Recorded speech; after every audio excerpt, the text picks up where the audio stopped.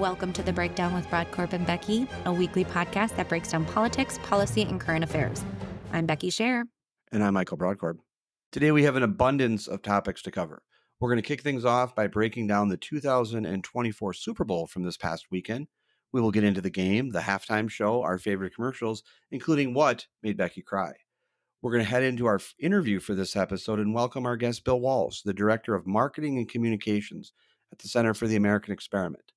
The center is one of the conservative organizations who share an office building in Golden Valley that was recently targeted and set on fire. We will break down the sad and troubling case of what appears to be arson and what comes next in this case and for these organizations. We will then go national and break down the recent Biden documents report and the subsequent disaster of a press conference from President Joe Biden. Thank you for joining us, and we hope you enjoy the show. So it was a big weekend. We had the big game, also known as the Super Bowl, this weekend. So let's break it down. What I've never- that? First of all, I'm just going to address this again. I've never heard of it called the big game. I understand your concerns about legal compliance, and apparently you're the you did go you did attend law school, and you have some concerns. We're not going to get sued for calling it the Super Bowl. Okay? I know we're not going to, but I'm saying it's a thing. Do you ever watch all of the commercials and stuff beforehand? I sent you that article. It's a thing. I know. It's the it's Super Bowl. It's the Super, Super, Bowl, breakdown on the breakdown. Great. Thank you. Thank you for saying that. You Uh, got when it. indictment comes, I'll make sure you're alphabetically it goes to you first. Perfect. Your take on the game. So it started out pretty slow. I thought it was pretty, the first half was pretty boring. Second half more than made up for it. It was great. An overtime, a cliffhanger, right, nail biter right at the end of the overtime. I loved it. It was a great game. I was, if, if I remember correctly, I think I chose the Chiefs were going to win, and I think you chose the 49ers. Yes, correct. So I, I was did- right. Okay. You were right, yes. But it was an overtime game. It was very close. And I just want to be clear I was rooting for the 49ers, but it, w- I was not rooting against the Chiefs. Uh, Brock Purdy is, went to Iowa State. My family, in laws are all from Iowa. So I was rooting, I was taking the in house choice and rooting for the 49ers. I certainly was not rooting against, just to be clear, I was not rooting against Taylor Swift or the Chiefs for any objection to them. It was I more appreciate just that pro clarification. Brock Purdy because I do not want anyone to think that I was in any way in that camp. I appreciate that clarification. It was a really great game. Um, was a great you know, game. there was some good players on both sides, and so it was fun to watch. I had a good time. What are your thoughts on the halftime show? I want to before I, I talk about my takes on it. You got nothing? I have I I think the best thing that I can do if we want to produce an informed podcast is to let you take it from there because I have absolutely no knowledgeable opinion, nor do I have any business commenting on anything that occurred at the halftime show. I saw some of it. It's just it's I got nothing. I don't think anyone wants to hear from me about that. They would absolutely love to hear from you about it though. Like the game. I thought it started off a little slow. I was a little bored on the front end and was a little concerned with his the amount of breaths he was taking. His stamina seemed to be fair. When is the last time Usher has performed anything of this caliber, length of time, intensity? I get it. But, but they really came in and redeemed themselves. The roller skating was awesome. The show was awesome. Luda showing up was awesome. Alicia Keys, beautiful, talented, amazing. It was I loved every bit. Lil Wayne was there. This was my tunes. This was my like high school, college years, music, dancing in the club. This was my jams back in the day. So I was sitting on the couch, jamming out, singing along the entire time. And see, that's why you're the perfect person to comment on this. Nobody wants to hear from me. I will just say, just I always watch things through the Super Bowl halftime shows through the lens of Prince's performance in Miami. I still think that was one of the best, if, need- if, the best. if if not the best one. But it's great to hear your enthusiasm about the halftime show. I also have some fun facts about the halftime show. Let's hear Did it. you- Did you know that it was a Minnesota company that produced the rollerblades that Usher and his crew wore? Mm, that sounds made up. Is that true? No, it is. Red Wing based, I think it's Riedell skates. They made the custom skates for Usher and his backup dancers. And yeah, it was a Minnesota angle. Gotta love that. Um, I also saw on TikTok somebody posted a video. They're like, oh, so that's why we saw Usher at a skating rink in some random town last year.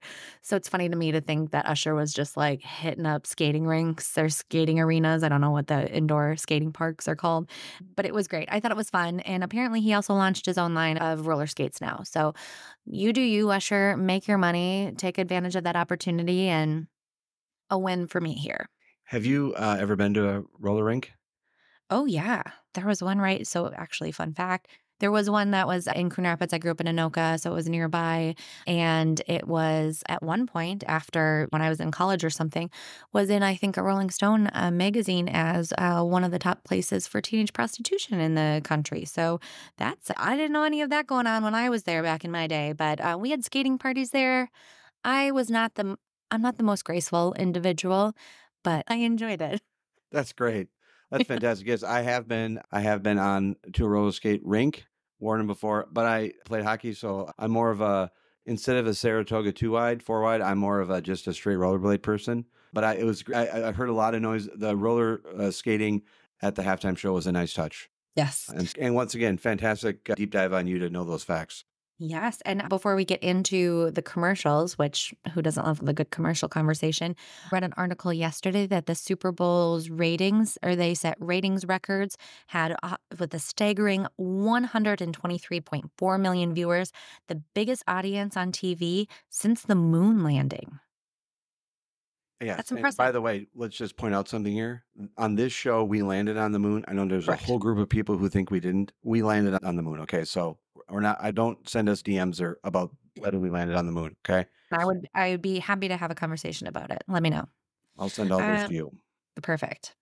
So now commercials. Take it let's away. start, let's start with funny commercials. So I have two that made me crack up. The first one was Ben Affleck in the Dunkin's, Yes. Dunkings. I thought it was great. Loved the cameos by everybody. Loved the scenario that I feel like Lo probably rolls her eyes at Ben Affleck multiple times a day, and it just somehow that relationship just works. It was cute. It was funny. Big fan. I thought it was number one on my list too. I thought it was absolutely fantastic. And here's the other thing. How he's in a commercial with his wife. He's with it, Matt Damon and Tom Brady. That guy's living the dream. Yeah. It was just fantastic. And he was laughing at himself. It was just an it was just the pure essence of what you want to see in a Super Bowl ad. You want to be surprised, you want it to be lighthearted, you want it to be fun, and it was a great commercial. And we agree on that one. And my second favorite is actually a kind of reunion rendition of, I believe, one of the favorite ones I had last year, a T-Mobile with Zach Braff and Donald Faison. I was a Scrubs fan, so I love those two together, listen to their podcast. But this time they had Jason Momoa with them singing outside the house, and Momoa was really into it. It was great. It was funny. It was cute. Love it. I've never watched Scrubs. I've been hearing good things about that show. So good. Yes, my number the my- second favorite was the Christopher Walken talking like Walken the Mm. BMW ad. I just like Christopher Walken's persona. It was great. He'd be a great neighbor to have. He'd be a great person to have in your neighborhood. I've always thought that Christopher Walken and John Malkovich, I would be really good neighbors if I was them. If I was like they lived in my neighborhood, and Christopher Walken was great. So anything that he's in, I'm always a big fan of. Love that. Any other funny ones for you that That's it. Those are the ones I'm going with. I did also like the Schwarzenegger Yes. ones that he had. That was with uh, that Danny DeVito. yeah, yeah. State Farm great. neighbor Danny DeVito's just great. Yes. can't beat it. Now for the teary ones, man, oh man, commercials can get you. I tweeted out last week a Cetaphil uh, commercial that really highlighted the benefits that we can look to from this Taylor Swift involvement in the NFL. Cute relationship that through the process of the commercial between a daughter ending up wanting to watch football with her dad, which was not interested in at the beginning. She got he got her a cute 13 jersey. Adorable, love a cute daddy daughter relationship. So that one was great. Another one that I loved was, I believe it was iPhone, but it was a, an app on your phone or an accessibility on your phone for individuals who have sight issues or are blind to be able to take photos. And so it goes through holding your phone up and it says there is one face in the in the screen there is or two faces in the frame so you can take so individuals can still take photos which was something I never thought about, but are really adorable. It goes through and it's pictures of him meeting a girl and starting to date and going through. And at the end, there are three faces in the frame because they have a little baby. I totally got choked up. I like turn around to my husband as I'm like tears in my eyes. Oh my gosh, it's a freaking commercial. And then the last one, the series that came through, I was really impressed by the stand up to hate, stand up for Israel, stand up for our Jewish allies. There were really good ones. I'm getting goosebumps even talking about it. The one was I like choked up talking about it. It was Bring the Dads Home. It was videos of fathers that are hostages currently with their children and playing with their children and it's it, it really it obviously got me and still does. But I was really, there was one with, about Martin Luther King. There was a mother in the garage, uh, or a mother putting her child into the the car, and there was a swastika on the garage door, and the neighbor came over and just painted it while she was gone so she didn't have to come home do it. It really is just so sad that's where we are, but it's so incredible that these organizations came out in force to really drive it home that this isn't okay and we're better than this and our neighbors and we will are stronger together if we stand up together and there's still a lot of work to be done to bring them home. So I agree with- to go up on my teary tangent as I'm crying on a podcast. No, I completely agree with you on all your choices, but particularly the the third one about that campaign about about hate. The all of them were just just tearjerkers and just very emotional. The ones that you highlighted are the ones that just really hit it with me too. Uh, the family leaving and they're coming back, and the neighbor cleans up the the garage, plus the videos. Uh, it was just heart wrenching, and and and it was so important. I think we think of the Super Bowl and these commercials to be so joyous of occasion, and there there rooms opportunities for parties and celebrations.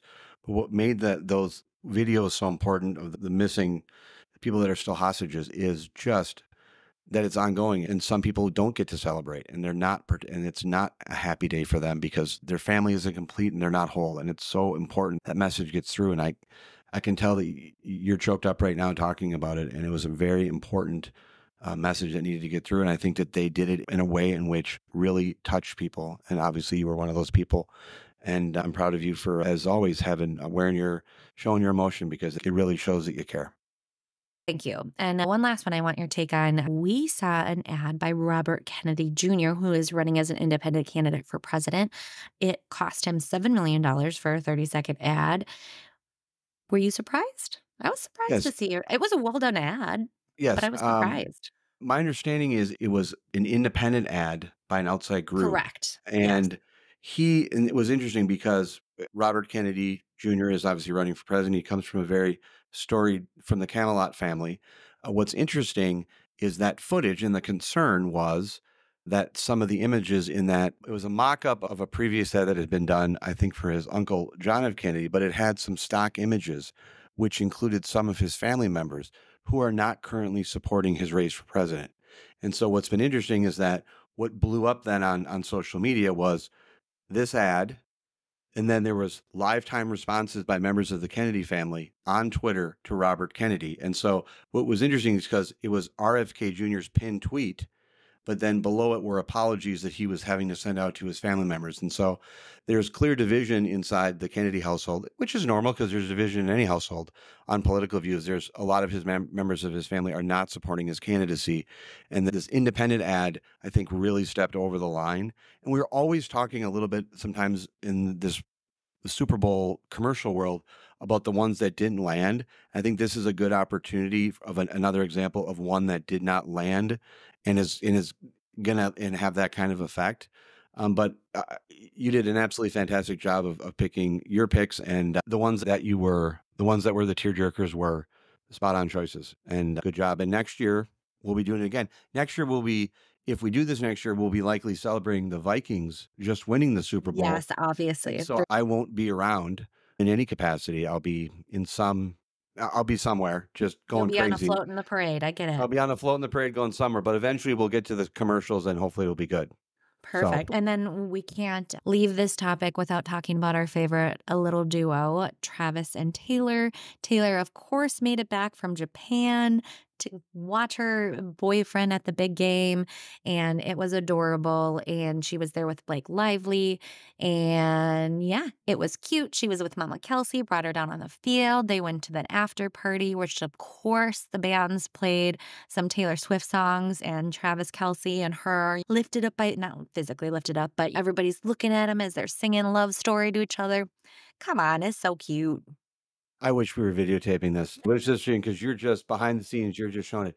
Am I using this the right way? This was this is your jam. Is that right? This is this is your subject. This is great. This is It's just cute. I mean, just I enjoy it. How great. can it not make you I feel? again, He just I won have his no third Super. Bowl. Again, She I just just want won to our fourth best album Grammy. Yes, I have no concerns about my concerns were not in any way, shape, or form about her winning or being a part of this. My rooting against the Chiefs was not because of anything related to Taylor Swift.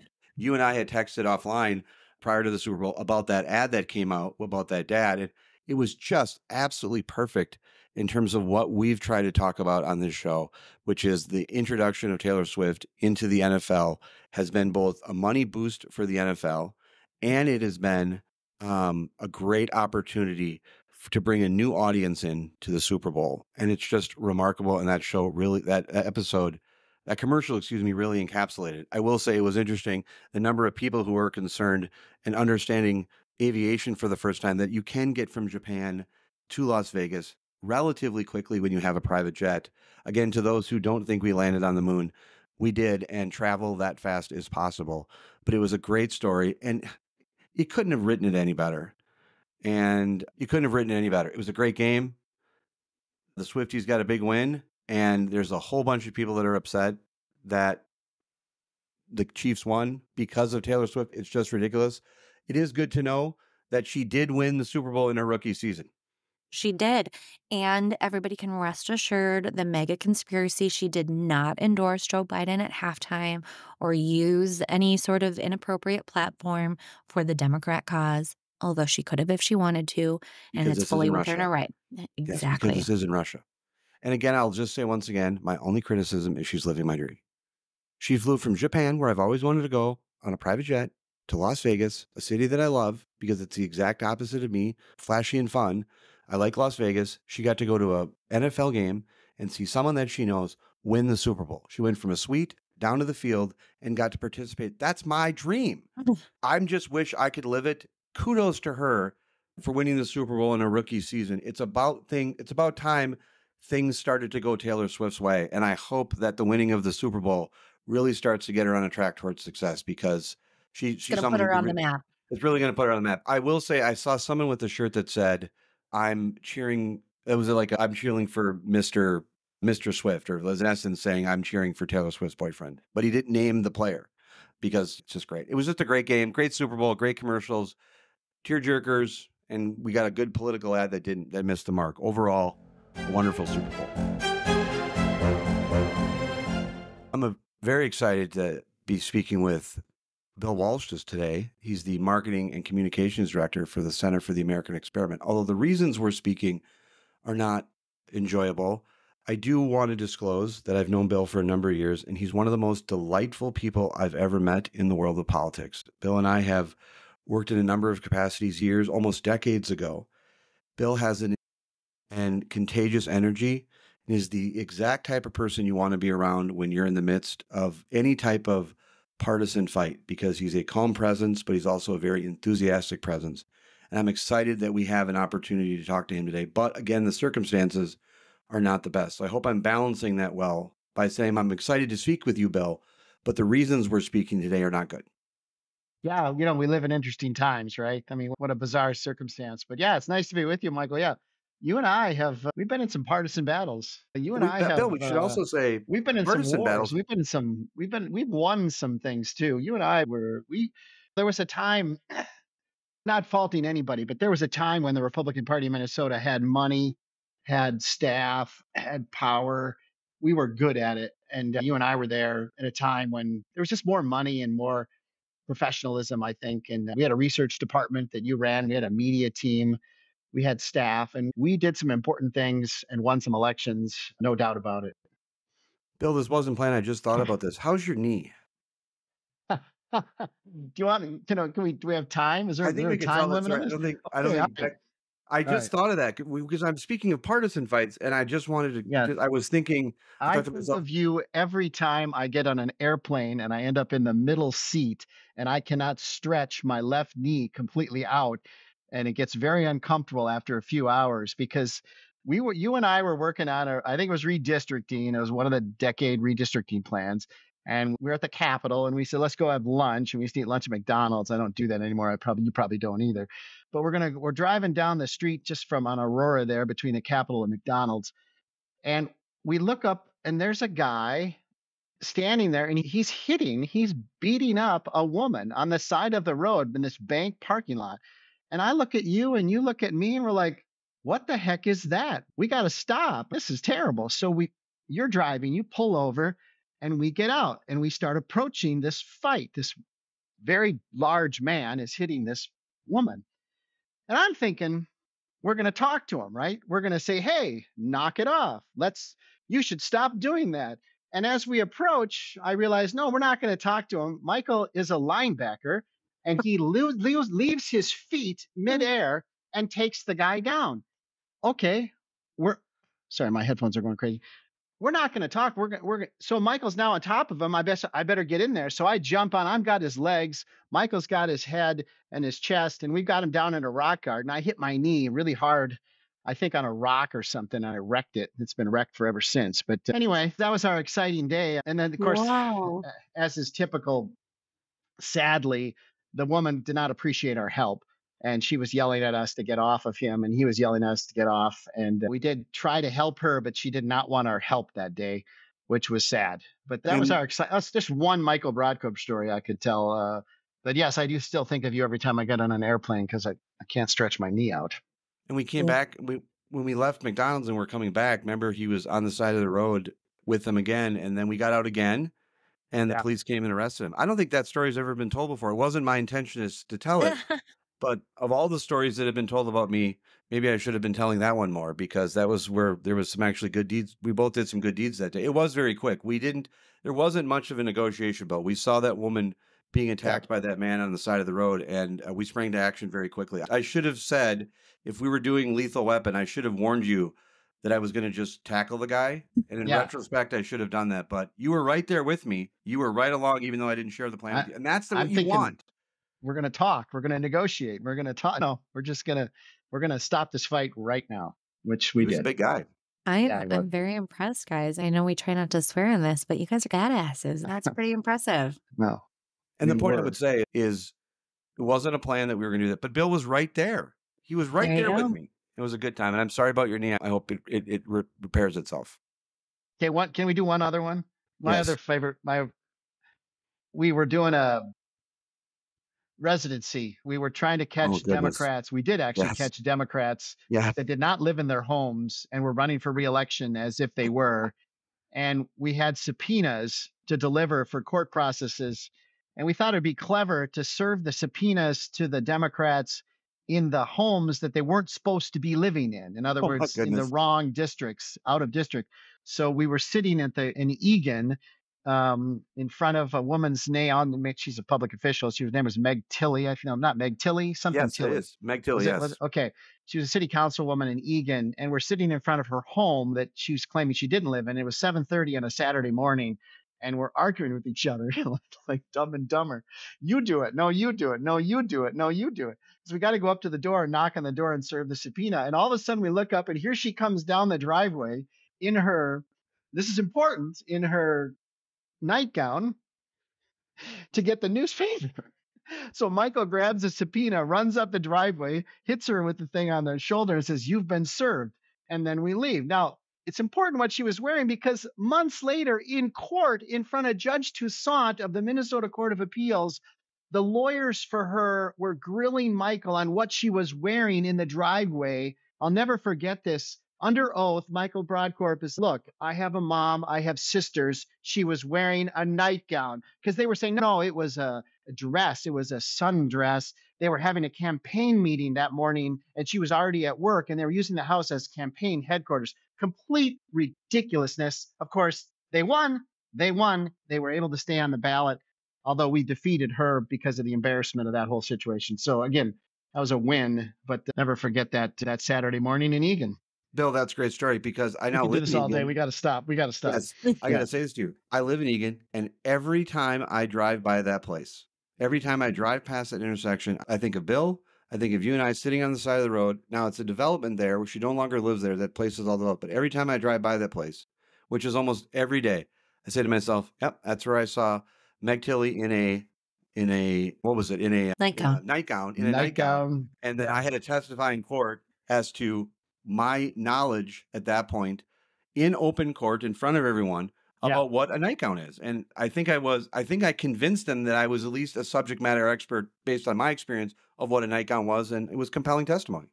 It was we could literally do this all day. This We, could be could- it. we got to stop. We got to stop. right. You're, you're proving the point, though. Uh, We've been told multiple times that we need to have a war stories episode. And so maybe we need to do that sooner than later and invite some guests on because this is great.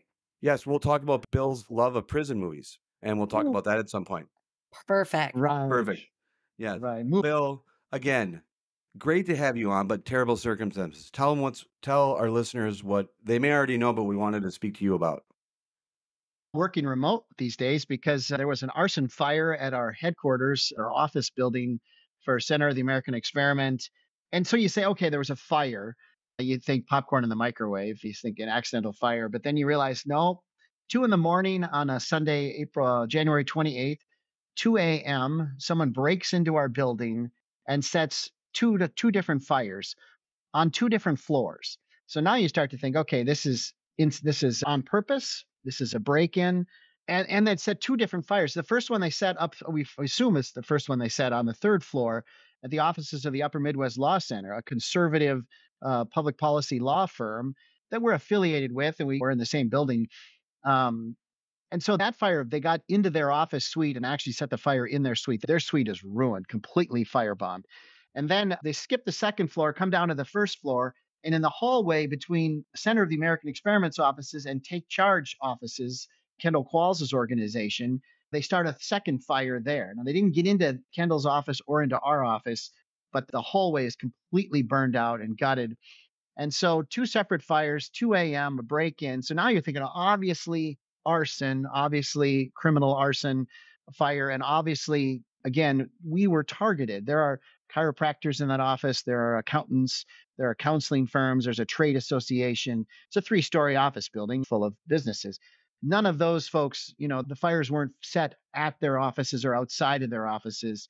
So there's really only you can only draw the conclusion that it was there was it was arson and it was targeted politically targeted to these conservative organizations, which is just a new level in the acrimony in the fight that we're all engaged in.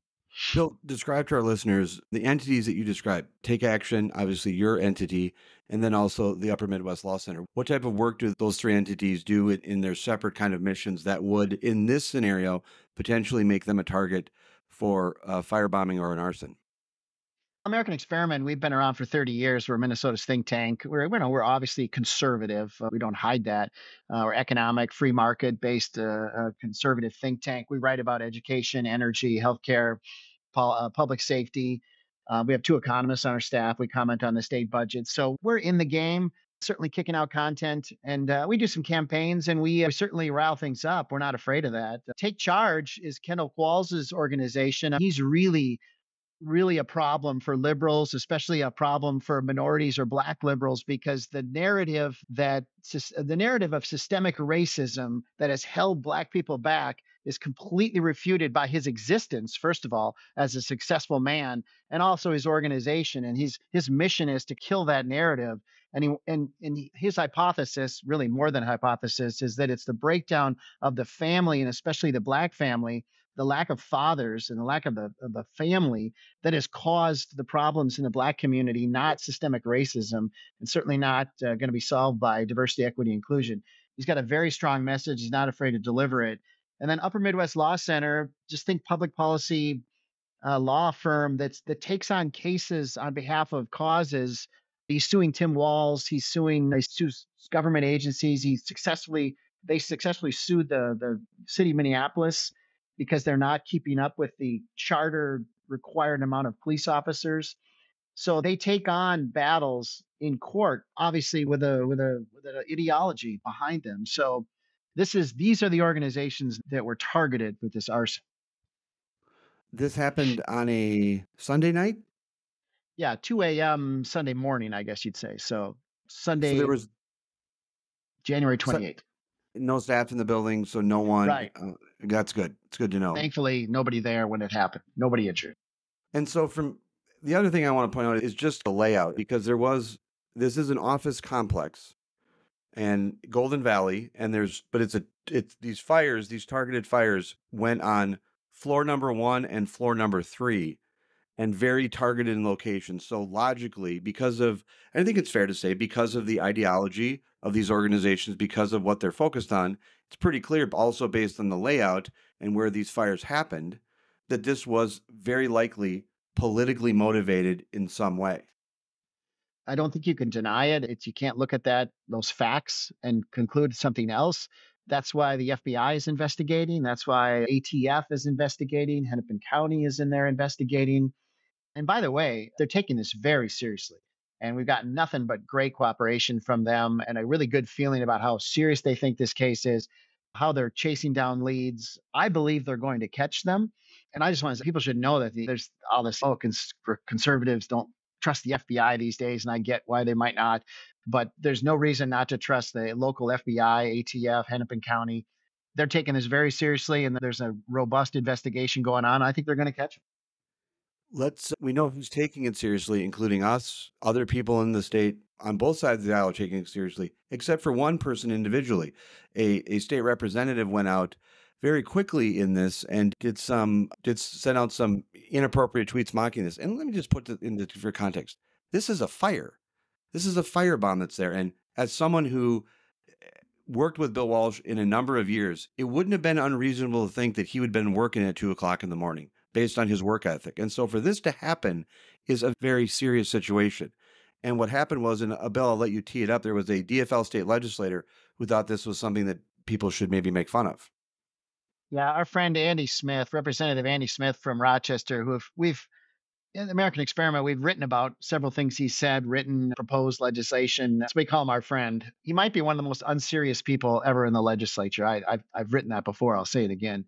He's just not a serious person, and, and Rochester should really find someone else to send to St. Paul to represent. And so, yeah, it's not a laughing matter. It just really isn't. And I know a lot of things on Twitter is funny, and uh, he offered some kind of a meme that's invoked uh, The Office. There was a I'm not a big Office guy. My kids watch The Office. I'm not a big Office guy, but apparently there was a fire in the office. A, so some something that I'm sure was funny to some people. I mean, clearly he thought it was funny. It's just not really. It's like too soon or not something you joke about. And uh, boy, the, the the blowback must have been really strong because he actually took down his Twitter account uh, after getting, I suppose, people reacting to his joke. You know that always happens. It, it, people are unserious, and it's just if it gets to the level of acrimony and the polarization, and we, we're not afraid as a conservative organization to engage. And man, you, let's let's, let's stick to issues, and let's let's stick to substance. And then this the, the the fire in itself takes it to a new level of, of violence and arson and and damage. And then the then the jokes about it don't fit either. We've, we've got to stick to let's have a robust argument on policy and and have it out and let voters see the argument and make good decisions based on that. What I what I find so challenging, in particular because I, Bill, we you we and I have worked together in a number of capacities over the years. It's been a long time, but I couldn't imagine. I guarantee you, if we were working in, in at a conservative outlet and this had happened on the other side, your reaction would not have been to tell anyone to go out and make fun of it. You would have taken this very seriously, and to see that done, particularly when, again, I'll just go back to our listeners it did happen apparently very late in the night, early in the morning, but based on Bill Walsh's work ethic, he very likely could have been there. And you're also dealing with the aftermath of very likely people's personal effects, where they work. It's a it's an incredibly traumatizing situation. I have to imagine for staff, for people to see the remnants of where they work, it's a violation. For someone to go out and mock that and lampoon it is just so reprehensible to me. And I'm sorry that happened, and, and I think he should be formally apologizing for what he did. Yeah, you're right about the the trauma aspect. I when none of us are comfortable being victims, and especially uh, I don't know, I don't like that status, but we do have some. We do have a lot of. We have 21 people that work in that office. Not just our office, too. The whole building is now upended. All the businesses, you know, we're seeing them in the parking lot as they're getting their stuff out of their offices and dealing with this. This is a huge disruption in their businesses. We have a few young moms that work at our office. They frequently bring their children in. So now there's this new level of fear. Do I have to fear going to work? Obviously, we work in the arena. We know that. We accept that. But now that these folks that work with us now have a new level of fear, And as we're looking at new office space, now we're looking at security and cameras and locks and key cards and everything else. So you're right, it does serious damage. A couple things I want to chime in on here. One, I don't think it was even funny to do that, even if it was a completely accidental electrical fire.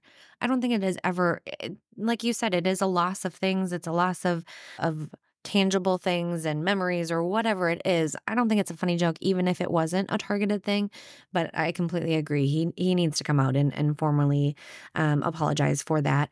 We've talked about this a lot with other scenarios of elect uh, as it surrounds politics and elected officials and showing up at people's houses and this kind of fearful, harmful attacks that we are seeing it should be condemned across the board. That is not something that is should be Democrat on Republican or vice versa. It it has simply gone too far. We all need to collectively do better, be supportive and and tone down that rhetoric that is is is getting us there. I do want to real quick do two quick disclosures. One, the firm that I work for has done work for Take Charge before. And since we were talking about that a little bit, great organization, a lot of really good stuff that they're doing, but want to make sure that we're keeping things uh, correct on the record. And I also have gone back, worked with Bill Walsh way back in 2010 on Emmer's race at the state capitol yeah. uh, and along the years. Those are the two things. But I do, before we move on of the evolution of what you guys have found out, You've worked in politics for decades. Have you ever experienced any targeting like this? Obviously, this is a, a, a, magnitude that hopefully has we haven't seen much around here. But are there? It, it certainly has evolved over the last, I would say, probably five, ten years in particular. What's your thought on that evolution of the, ramped up um, anger towards people that are opposed to us? And and do you have any other experiences with that? I'm sitting here thinking, I don't remember anything like this. That's a good thing. I never feared. I never thought about my when my kids were young and we were doing this in this business. I just I can't think of anything. It was always rhetorical. It was always the argument. It was always your side, our side, and then we're we're trying to win votes most of my career, just trying to either make con- legislators look good and then eventually win votes, or help challengers defeat legislators and win votes. And man, I don't remember anything personally or even people I worked with. There's always death threats. They, they come in for elected officials, hmm. but nothing. No. Well, that's and, a good and, thing. And I mean, Bill, we worked on particularly the O2 race. There was it was a lot of emotion in that race. Obviously, what happened in Center, some before and after th- that circumstance, but nothing even remotely like this. And when I first heard the reports, I'm like, I hope it wasn't, but it's very clear as more information's come out, particularly the placement of the offices and what happened, that this was very likely deliberated and targeted. And there's also this kind of model that this phrase that people will throw out is which is they're obviously getting under their skin. No, this is not a kind of get under their skin response. This is incredibly dangerous and traumatizing and impactful to people. And there's not anyone in politics whether they work for a think tank, think tank, they work for a political party, an elected official, or a staffer, should have their office firebombed and targeted like this. It's a shame. And Democrats and Republicans should be standing up and saying, this can't happen. And anything that can be done to be a voice for ensuring that doesn't happen, they should be doing. And I'm disappointed that you guys haven't received that kind of uniform, bipartisan response to say enough is enough. There's been some. I Good. wouldn't discount it. Governor Walz sent out a tweet condemning the action. Good. That was well received by our staff. Star Tribune editorial board wrote a very nice piece just condemning this kind of behavior, gave us a nice little microphone. So if, you remind me of the 2002 campaign, and it's like in a different era, a different world. Go back one more war story.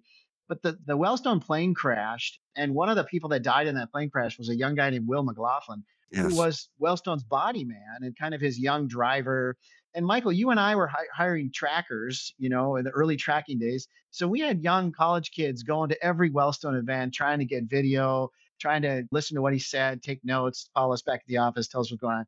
And those young trackers actually had a relationship with young Will McLaughlin. And they were actually quite devastated when they found out that he died because even though they were adversaries, at every event, it was the it was the, oh god here's our republican trackers. All right we get it. You got to set up your camera. You got to get the senator on the video.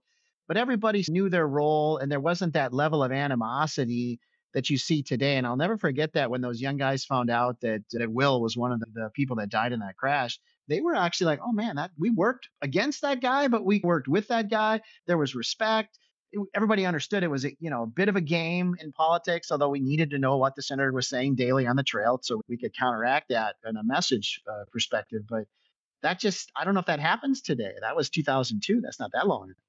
Yeah, I remember that moment when I know the trackers' names. I won't say them on air, but it was I'll say their first names. When Jim and Tim found out what was going on, it was a they were incredibly upset, and, Mhm. and not again to take anything away from those that knew Senator Wellstone and those staff closer, but that's the type of relationships that used to exist in partisanship, where there we recognized that we wore different colors on the field, reds versus blues or whatever, but there was a mutual respect and Greens, admiration. red and green. Red and, and there was mutual admiration, and that's been lost. And Bill, I I hope your organization and all the organizations that were targeted and a part of this continue to thrive and survive, and your staff is able to deal with this. And if there's anything that we can do on this podcast to be helpful to either promoting your message or helping in any type of with any type of uh, raising awareness about the incident, driving people towards law enforcement sources. Is there some place that people should contact if they have any information? I think there was a reference to I think the the Golden Valley uh, Fire Department is handling it. Where should tips or leads go? FBI is the local FBI office has a tip line up. I can't remember it off the top of my head. It's in a press release we put out, but just We'll uh, the local FBI office is taking tips for sure. I think it's fbi.tips.gov Great. uh, is the best place to do that. And then AmericanExperiment.org. People want to help, they can send us piles and piles of money. We always need money. Insurance is going to cover furniture and things like that. There will be some incidental costs to relocating. I just tell you, we're not missing a beat. We're going to we're keep kicking out the content. Everyone's got their laptop. Everyone's got an internet connection, and we will continue the work that we're doing. We'll keep on fighting. Where can people follow you on social media? You are at Bill T. Walsh. T Wolf at Great. Twitter. Evilest. Will, thank you so much for joining us, but especially under the circumstances. I hope your knee does get better. Take maybe that chiropractor down the hall that has a functioning office can maybe provide some assistance and Yeah, just send me the bills. All right, sir. sounds good. Thanks a lot, Thank you, guys. Bill. Yeah, bye bye. Bye. Yep. He is he's just a joy. I've Yeah. always enjoyed Me um, too. working with Bill in the past. He's just got that very enthusiastic energy and enthusiasm. And I will just say again, uh, two things. Number one, it would not have surprised me one bit if Bill Walsh would have been in the No. office working that late or someone would have been there because people who work in this kind of, even though they don't do direct partisanship, they're a think Mhm. tank. People burn the midnight oil. Yeah. And to think that, that was done is just horrific. And I just have know. to say, I understand it may have just been one one DFLer who said something, but the fact that enters into someone's frame of mind is just so frustrating. And it's something that we've talked about is that I like to believe in, and I shouldn't say I like to believe, I know that if this had happened on the other side, we would be doing everything we can to help steer attention towards that way. And it was always nice to hear to, to speak with Bill, but under the circumstances, it's just tough to hear what's going on with them. Yeah, it, it, Bill is great. I've always enjoyed working with him too. He's a good voice for the mission, for the issues and policies, and moving the needle forward. Um, and and it is, it's just, it is scary. Like I said, as we've talked about over the last couple of years, things have definitely amped up. I remember working on campaigns in 2018 and and 2020, and not wanting to, if I had to stop and get gas and go into the gas station, not wanting to go in wearing my Republican garb all the time because you just don't know what somebody is going to say or do, which is just a really unfortunate place. And and I can't imagine having, like you talked about, feeling that violated of a very targeted attack on your organization for your views, for your work.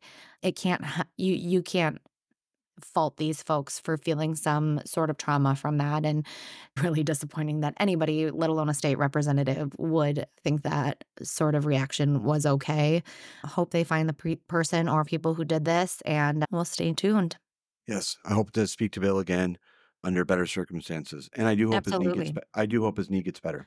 those were some great stories we really need to get this war war stories on the books and bring some of our campaign friends along for the ride He was right there. It wasn't I?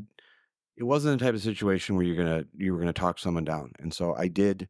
But he was once I was out of the car, and he was right there by my side, and that's the type of person you want to have. oh absolutely Yeah, I don't think I don't think my family knows that story. So I better to update them about what is going to be on You the better. podcast. Last week, the special counsel report on the Biden documents came down. They determined it was insufficient evidence to charge Biden with a crime uh, surrounding that, holding, storing in his garage classified documents of whatever level. The more notable thing that came out of that, I think, is less notable that he didn't get charged, and more notable the context about his memory and capacity, mental capacity. A quote from the report said, and Hur believed that there were numerous reasons why a potential jury would find reasonable doubt at trial, notably that Biden would come across not only as sympathetic, but forgetful and not capable of the willfulness required to convict. There were comments about an elderly man with memory issues. The report stated that Mr. Biden's memory was significantly limited both during his recorded interviews with the ghostwriter in 2017 and his interview with our office in 2023. Apparently, he could not remember the years he was vice president, when his son Beau died. It is a little shocking, not shocking and shocking. I think, from my perspective, the shocking part is that these mental capacity uh, memory issues were so significant that it warranted that inclusion in the report. We've seen Biden struggle at the podium, struggle in interviews, struggle while he's out at events. So there was has been that concern. We haven't we've talked about that before, but to see it to this level just seems wild that it was so significant. What's your take on it? It was a devastating report, and I think as you teed up and framed up, it really sets up. It it is a independent, an in a strong independent verification of what has been an ongoing discussion in the race for president, and it's concerning. It's very concerning, and I think that Biden's response to it was not helpful. I can understand from his perspective and from the perspective of Democrats, I've heard that they feel that this report got into too much and it wasn't, it was unnecessary, it was gratuitous, but it does confirm a pre existing narrative that people have. It does concern, confirm a pre existing narrative that, that people have. I think it's going to be a challenge and I don't think it's going to go away. I think that as I still believe it's going to be Trump and Biden as the nominees, but I think that this discussion about Biden's age and what's in this report is going to mainstream and provide a new injection of information into this debate that could recalibrate it in some way. I still think it's going to be Biden and Trump, but it's certainly there are some hurdles that have been put in his place. There have certainly been some hurdles. Absolutely. I'm about 50-50 at this point. I'm I I could see a, a quick tumble to to to get Biden to say he's not running again and somebody else to go up in his place. Partially, not only because of what was in the report, but I think the subsequent actions of that as well. So we had Biden's team response. So I want to get, as somebody, you and I both have worked in communications, we've worked for candidates, electeds, all of the sorts. And uh, so I want to first start with the the team's response. Obviously, they're disagreeing. They don't believe that the report's treatment of President Biden's memory is accurate or appropriate. There is ample evidence from the interview that he did well answering the questions of years old events over the course of five hours. That's pretty standard. The one that bothered me is the attorneys noted, Biden's attorneys noted that the interviews took place in the midst of the October 7th attacks on Israel when Biden was busy, quote, conducting calls with heads of state, cabinet members of Congress, and meeting repeatedly with his national security team. Now, that may be well and true. And it is understandable that anybody doing anything uh, when you're the president of the United States um, after a, an attack like what happened on October 7th in Israel would be a little distracted. However, your job of president of the United States is you got to do it all. You have to have the capacity to do it all. You have to be, whether it's dealing with Israel, whether it's dealing with something in the United States or other allies or conflicts around the world, you got to be able to do it all and do it well. And so it is concerning that they tried to pass that buck and try to be I feel like tried to gloss over, brush it under the rug because of this and thought that people, that would be a valid excuse. Yes, I think there's an expectation, as you articulated, that the president, whoever it is, always multitasking. With the vice president is multitasking when they're doing their job. there's an expectation, I think, and it's, it really gets to a very discussion point, very interesting point that I would like to bring up. You and I have both, in some capacities, have been in the presence of presidents, and that's an opportunity that I think was a real honor, and I, and I hope to have that opportunity again. If there's one question that I could ask uh, a president, it would be not anything about policy or anything, is how they handle the mental challenges and strain of being president. Because one of the things that we know is that there's all these fundraising objectives and campaign strategies but we really do not get into how on the kind of the personal level we have not mainstream discussions as to how executives people who are running for president how they in their daily lives deal with stress and how they balance their communication flow and how they deal with this obviously there's a, the office of the presidency has a, a, structure in place. They have in-house doctors and they have a medical team and there's all this existing kind of permanent bureaucracy. But I've always believed that one of the most if I could ask a president one question, at some point I hope to ask either he or she a question about what would how they handle it. And the question I would say is how would you deal with that? Mr. President, Madam President, if you're in the midst of a crisis, if you're just or in the normal day, of being president of the United States. How do you handle that stress? How are you dealing with that mental strain, both just waking up every day in the residency, getting a presidential daily briefing of all of the problems that are going on in the world? There's threat threat assessments that are contained in that document. So it's not as if you're starting off your day by reading the Sunday comics. You're getting. basically a mem- your first kind of one of your first objectives that day is to participate in a, a series of briefings talking about the current threat assessment against the United States domestically and threats against assets for in, across the world. How do you balance that? How do you deal with the stress and the rigors of the day? How do you handle that flow of information? Because here's the thing everyone's brain is the same in most ways. It's generally the same kind of composition. And the stressors that they're dealing with, they're not as if they're robots.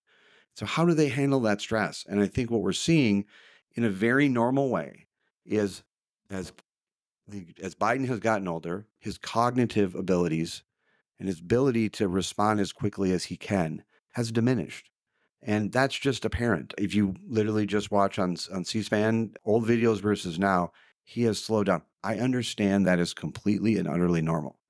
But what I will just simply say to you is that that is re- all of these questions are reasonable to ask. And I would love to ask a, that type of question of a president. Maybe someday I'll get to ask he or she about it and say, how do you handle that stress? Because I know what I do to balance dealing with information and how I kind of firewall things and not do two things at the same time.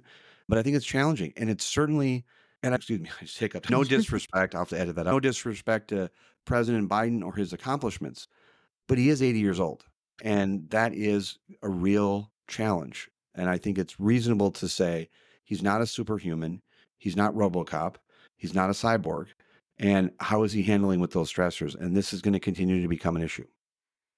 Absolutely. And I think we saw a lot of that. Like you said, it, it is um it, it is he's 81 it, it is a common thing to have a decline when you get a certain age and and that's not surprising but it is something that i think we need to to look into so i didn't love that um kind of excuse that they gave there Another question I have for you is what Biden did after that. He did a press conference. Now, again, we worked in a lot of situations with people who want to do a press conference, want to get in front of the cameras, tell their side of the story. There are times where it is good and necessary to do so. And there are times when you should wait a beat, wait until the next day maybe.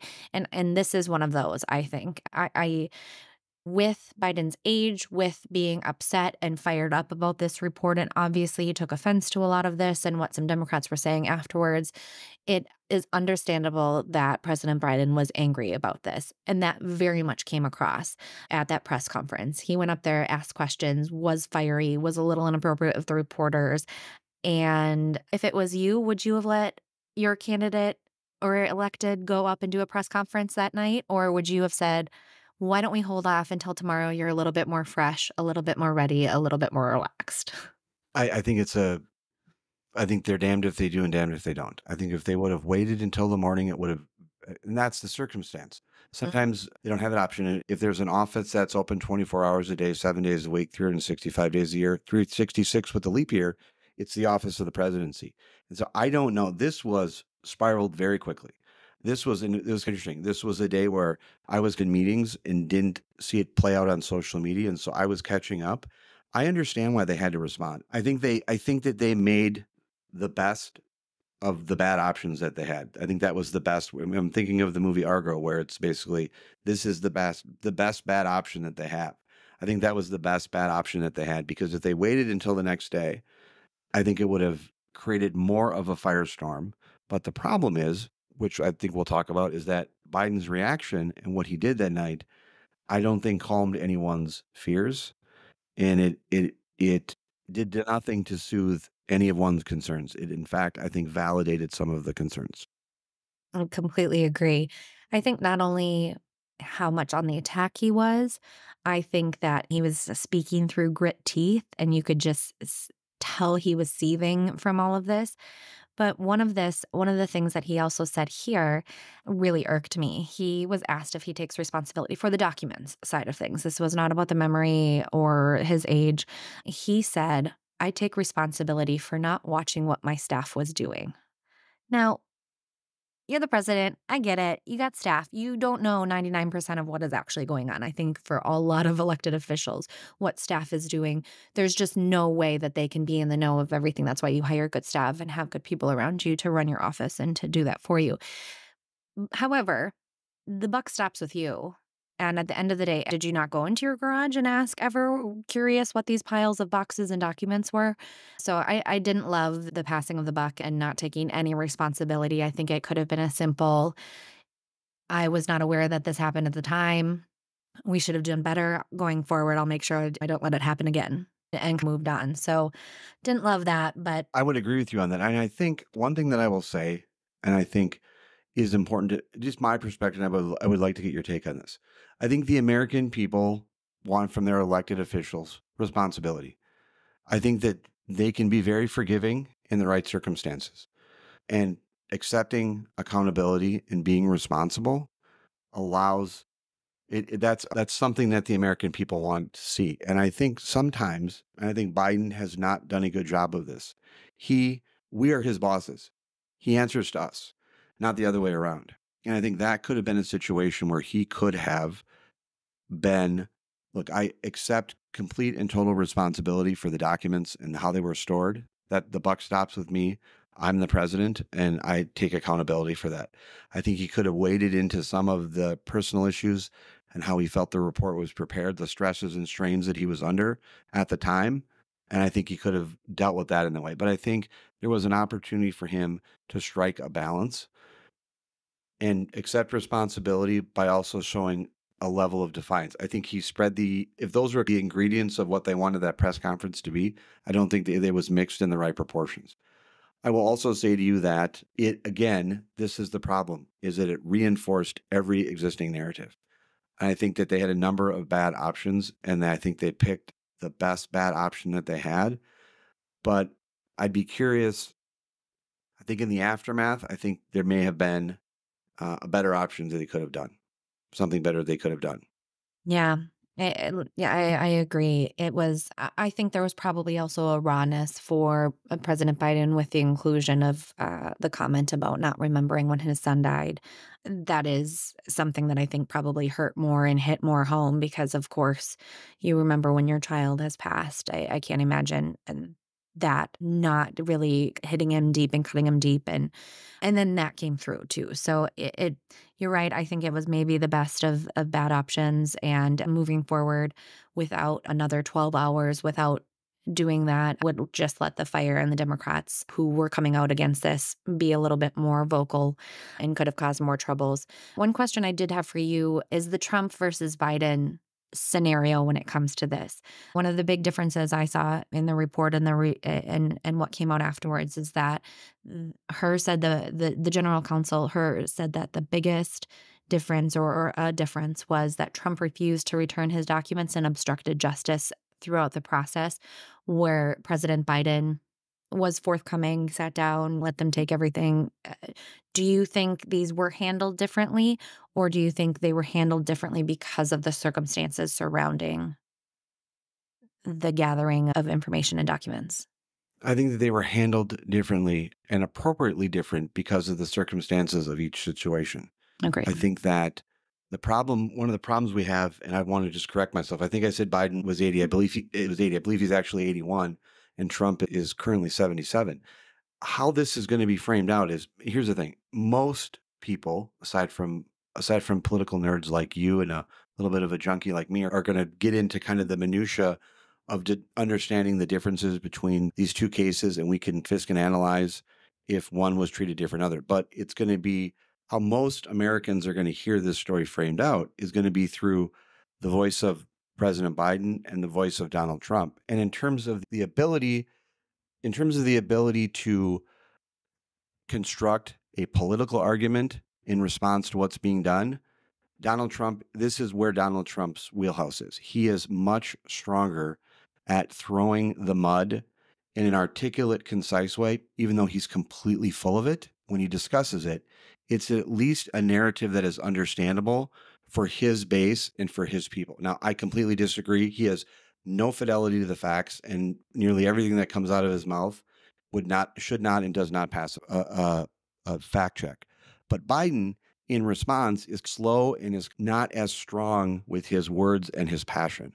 And I'm not talking about Biden's you know, speech issues. I'm talking about just where he's at currently, he is not a he is not a good vehicle and a good vessel to promote strength and that there's a steady hand at the till. I would argue that Donald Trump is not, but in terms of the contrast of the two, because elections have, do not happen in a vacuum. It's Biden versus Trump. And so Biden will be judged in response to how Trump acts and vice versa. And so in, if there is an argument that is played out this election cycle just rhetorically on these documents even though I do believe that there's, as we most people know, there's some legal action that Trump could be facing this year about these documents that will not likely ensnare Biden in the same way. But in terms of the rhetorical messengers and how that message is delivered, I think Trump is more equipped and is stronger at delivering his defense just verbally. And we know how people consume information and how Trump delivers it is a much more concise and powerful way than I think Biden is able to do it. And that's where I think this is, I think that's why the race is going to be so close. I hope I'm discussing Biden. I hope to be 80 someday. I know 80 year olds. I'm not trying to be disrespectful in any way, but I'm trying to just responsibly talk about it. And that's what I think. I think you summed it up well. It will be interesting to see how this plays out. I do believe or do agree with you that Trump is more well suited for this kind of scenario and the attack and his verbiage that he uses in situations like this. But at this time, it is Biden versus Trump, and we'll see if it stays that way. So, another big thing happened this week. It was the start of the 2024 legislative session. We will get into everything in an upcoming episode. But one comment we did want to chat about is there is a new Senate uh, majority leader. Yeah, Senator Erin Murphy is taking over for Senator Dziedzic. I just want to just share a very brief story. After, as everyone knows, I was hit by a car uh, last April. I received just a wonderful note from Senator Dziedzic in response to uh, me getting hit by a car. Just a very kind statement, and I just want to acknowledge uh, that I'm. I, I, wish her all. I wish her a, a, very speedy recovery and a and a quick return to the legislature in any capacity. She's one of the good ones, and, I do hope that she gets back to a stronger place very soon. Absolutely agree. Sending her all of the well wishes. And we will chat more about legislative session and what to expect in a coming episode. So thank you for another great week, Michael. It's great to be here, and we'll be kicking things off again next week. Sounds great. Bye. Bye. We want to thank you for listening to the Breakdown with Brodkorb and Becky. And before we go, show some love for your favorite podcast by leaving us a review on Apple Podcasts, Spotify, or on the platform where you listen. You can leave a review or give us a shout out on our website or across all social media platforms at BB Breakpod. The Breakdown with Brodkorb and Becky will return next week. Thank you again for listening.